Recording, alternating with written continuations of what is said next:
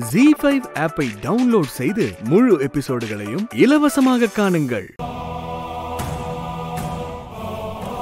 இவ எதுக்காக இங்க வந்திருக்கா?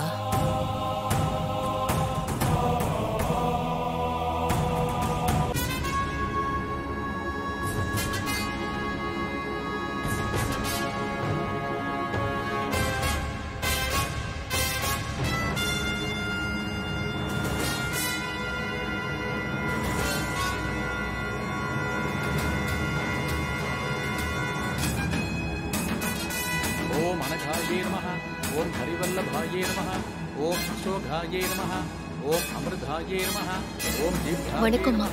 நம ஓம் லோகசோக விநாசினே நம நவதானியம். சாமி கிட்ட கொடுமா இந்தாங்க சாமி நவதானியம். குடுமா.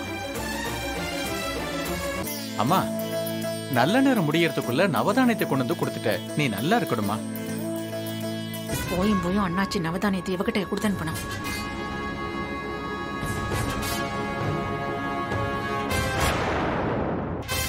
அத்தை இதெல்லாம் பிளான் பண்ணி நடக்குதா? இல்ல இயல்பாவே நடக்குதான்னு ஒண்ணும் புரியல. இந்த தீபாவும் இங்க வந்து நின்னுட்டாளே. எனக்கும் எரிச்சலா தான் இருக்கு ஐஸ்வர்யா. என்ன பண்றது? விதி திரும்ப திரும்ப அவளையே பார்க்க வைக்குது.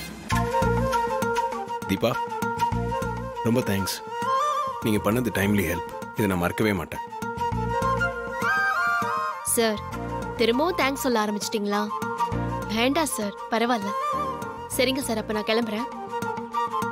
ஏமா ஒரு நல்ல காரியம் நடக்கிறப்போ வந்திருக்க. இதுல கலந்துக்காம போறேன்னு சொல்றியே?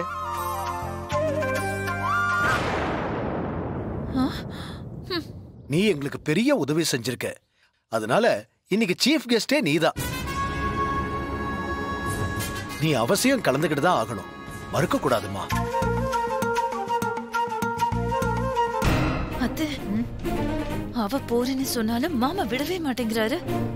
அவளை போய் சீஃப் கெஸ்ட் வேற சொல்றாரு. இதெல்லாம் கேட்கவே காது கூசுது அத்தை இந்த மனுஷன் ஏன் இப்படி எல்லாம் பண்றாருன்னே தெரியல.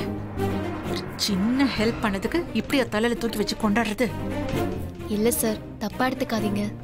நான் கிளம்புறேன். தீபா அப்பா தான் இவ்வளோ தூரம் சொல்கிறாருல்ல கொஞ்ச நேரம் தானே? ஃபங்க்ஷனில் இருந்துட்டு போங்களேன். நீங்கள் இருந்தீங்கன்னா நானும் சந்தோஷப்படுவேங்க.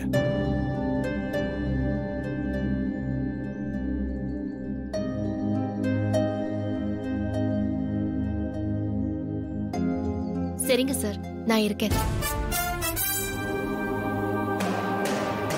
அத்தை அவளை பாத்தீங்களா ஃபர்ஸ்ட் பிகு பண்ற மாதிரி ஆக்டிங் கொடுத்துட்டு இப்ப பார்த்தா கலந்துக்கிற மாதிரி சொல்றா.